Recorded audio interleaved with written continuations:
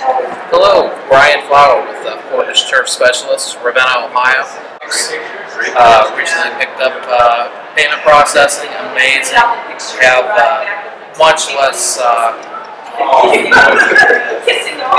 collections involved with that. They all go straight to the payment processing.